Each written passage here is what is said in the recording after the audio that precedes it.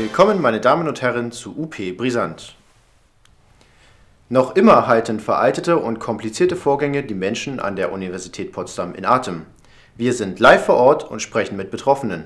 Sehen Sie selbst, wie prekär die Situation tatsächlich ist. Ich hätte mal eine Frage. Sie haben wahrscheinlich keine Zeit, da die Situation sehr zuspitzt ist. Trotzdem ganz kurz, wie kommen Sie mit der Situation klar? Oh, keine Zeit, es muss heute noch abgestimmt werden. Es muss heute noch raus. Wie erwartet eine sehr zugespitzte Situation? Mann, du, oh, du doofes Teil. Ich das richtig? Kann es sein, dass Sie auch noch keine Hilfsgüter bekommen haben? Was? Hilfsgüter? Welche Hilfsgüter?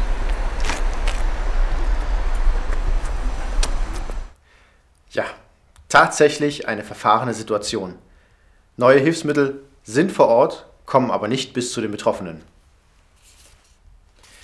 Mit hohem technischen Aufwand versucht man zur Stunde die Lage in den Griff zu bekommen. Aber welche Anstrengungen werden konkret unternommen? Dazu jetzt eine Live-Schaltung zum Einsatzleiter im Krisengebiet.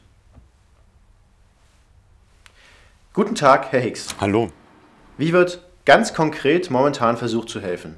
Ja, wir sehen, dass viele Personen immer noch in ihren E-Mails sensible Daten unverschlüsselt übertragen. Hier können wir direkt mit DFN-Zertifikaten helfen.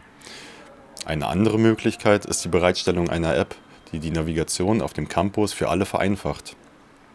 Zurzeit entwickeln wir noch ein System für alle Mitarbeiterinnen der Universität Potsdam, in dem sie online Beschaffung durchführen Ich muss Sie leider unterbrechen. Dieser Prozess Uns erreicht gerade eine dringende Eilmeldung. Wir schalten direkt zu unserem Korrespondenten Heinz Hütchen.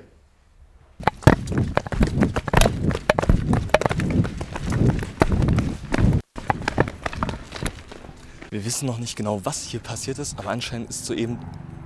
Moment, ich habe gerade aktuelle Regieinformationen über UP-PET erhalten.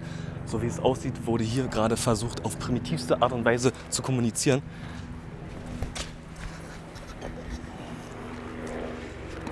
Dieses Kommunikationsmittel wurde anstelle von Adobe Connect verwendet, wo, weshalb jemand stolperte.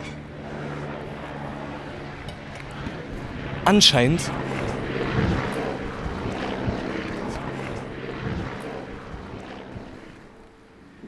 wurde dieses alte Transportmittel zur Datenübertragung verwendet. Ein weiterer Hinweis dafür, dass Dienste wie Box UP noch nicht bei den Menschen angekommen sind und damit zurück ins Studio. Vielen Dank an unseren Korrespondenten Heinz Hütchen. Damit sind wir auch schon wieder am Ende unserer Sendung und ich verabschiede mich von Ihnen. Aktuelle Informationen zur Lage finden Sie wie immer auch auf unserer Website unter www.uni-potsdam.de.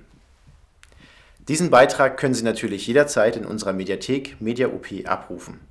Auf Wiedersehen und Ihnen einen schönen Tag.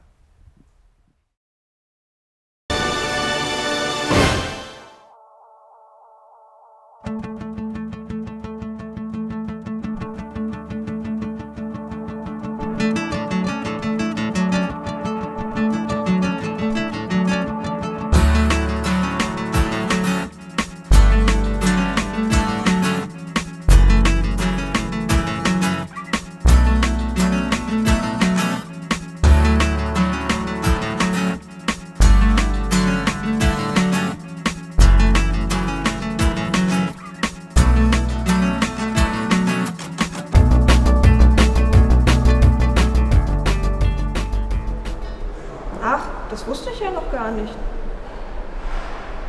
So einfach geht das?